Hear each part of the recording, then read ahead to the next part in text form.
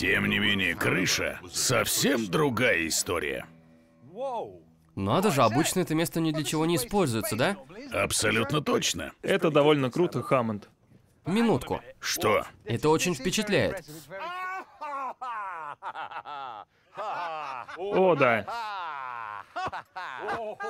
Будем это предвкушать.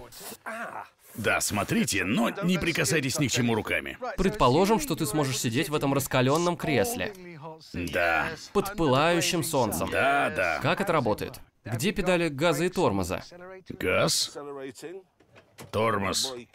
А Ясно. это коробка передач. Так это реальная яхта. Да. Внимание, джентльмены, вот как я это вижу. Почти никто не захочет отправиться в отпуск на 11-метровой кибитке. Но любой отгрыз бы вам руку за шанс проехать в отпуск на 11-метровом трактире. Ты прав, они не так уж и отличаются, верно? Просто одна плавает по воде, а другой ездит по земле. Хаммонд, Да. где твой? Вон там. За грузовиком? Это и есть грузовик, это он. Это не дом на колесах. Это дом на колесах. Смотрите, он большой, я могу в нем спать, а сзади мотоцикл. Это рекреационное транспортное средство. Мэй, мы должны это увидеть. Он большой, ему нужно двигаться, так что грузовик очевидный ответ. И что это за грузовик? Не знаю, грузовик. Такие использовала фирма по перевозкам U-Haul. На нем остался логотип предыдущего владельца. Неважно. Заходите и не снимайте обувь, не то занозите себе ноги. Вот жилой отсек. Какой еще жилой отсек? Вот кровать. Телескоп на случай, если вечером станет скучно. И кресло-качалка для гостей, еще мотоцикл сзади. Так, погоди минутку. Выхлопные трубы? Да, Двигатель? V8. Чей? Теперь он мой, я купил грузовик. Ты вообще не приложил усилий. Нет, приложил, просто упростил задачу. Я не потратил время и силы на сложные и ненужные мне вещи. Это честно. Когда ты придешь в мой дом и скажешь, пожалуйста, Джереми, можно мне в туалет, я откажу тебе, потому что ты обвинил меня в потере времени. А если ты захочешь прийти в мой паб и выпить твоего джина, я скажу нет, это просто потеря времени, Хаммонд. Я не знал, что мы открываем что-то вроде биржи ресурсов, необходимых бродячему отпускнику. Хаммонд, Да? твой грузовик, я не буду называть его домом на Потому что колесах, это не дом на колесах. просто жалок. Святая истина. На этой ноте мы пустились в путь.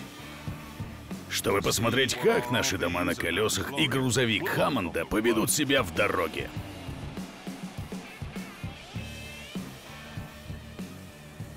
Посмотрим, что у нас тут на щитке. Левая панель, э, не знаю для чего все это. Центральная панель, четыре аварийных сигнала, и тоже не знаю для чего они.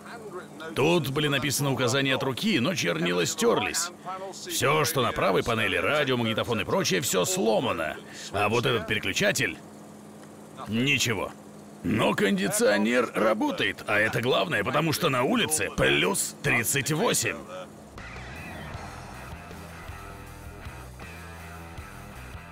Здравствуйте, зрители. Поехали со мной в моем пабе. И учитывая, что большую часть времени в моей жизни я провожу за рулем и в пабе, это идеальная среда, не так ли? Давай, повышай передачу, скотина. Спасибо.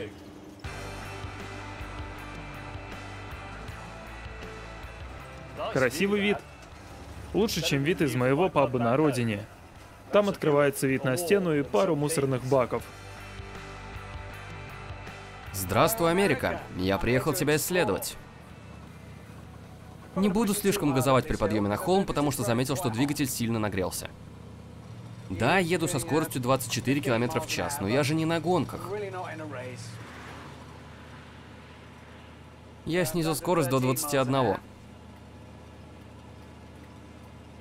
Более чем достаточно.